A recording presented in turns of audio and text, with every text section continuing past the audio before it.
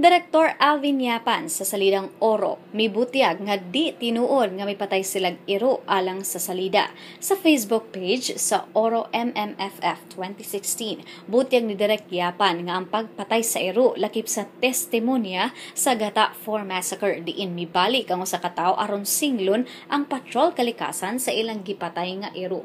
Mikaon daw ang patrol kalikasan og iro nga subay sa tradisyon sa ubang probinsya sa Pilipinas. Giklaro usab ni Yapan nga wa siya misugo og aktor aron mopatay og iro. Kahinumdumang ang Philippine Animal Welfare Society may reklamo sa giingong pagpatay og iro nga makita sa usa ka scene sa salidang Oro nga apil sa mga entry sa 42nd Metro Manila Film Festival.